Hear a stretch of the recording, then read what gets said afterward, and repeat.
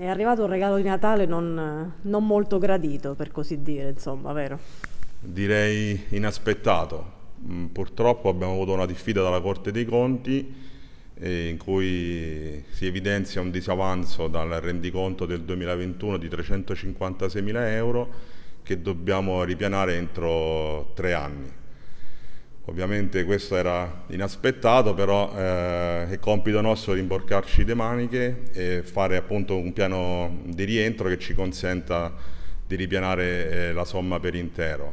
Questo ovviamente comporterà eh, delle conseguenze, eh, nel senso che saremo costretti purtroppo a svolgere delle attività che mai avremmo voluto fare, ma siamo costretti ahimè, a, a vendere dei fabbricati in, in eh, proprietà al comune e oltretutto penso anche ad rieffettuare un accertamento sull'IMU e la Tari sperando di non dover toccare eh, nessuna aliquota.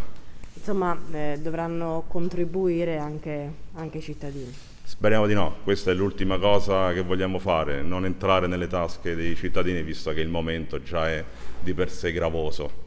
E I fabbricati eh, sono utilizzati oppure sono... I fabbricati in parte sono utilizzabili, in parte sono in via di ristrutturazione per il sisma. Uh -huh. Abbiamo la um, scuola di Casanova, probabilmente previa accettazione da parte della Corte dei Conti di questo piano. Il eh, centro servizi di Padula e la ex caserma forestale di Cortino dove ci sono quattro appartamenti che andranno ristrutturati.